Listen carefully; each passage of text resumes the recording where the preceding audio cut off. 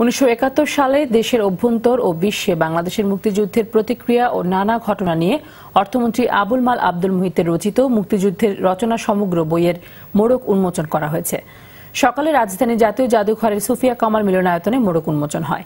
এ সময় অনুষ্ঠানে centre for policy ডায়ালগের চেয়ারম্যান রেহমান সোবহান, রাজনীতিবিদ নু আলম লেলিন, রাষ্ট্রবিজ্ঞানী ড.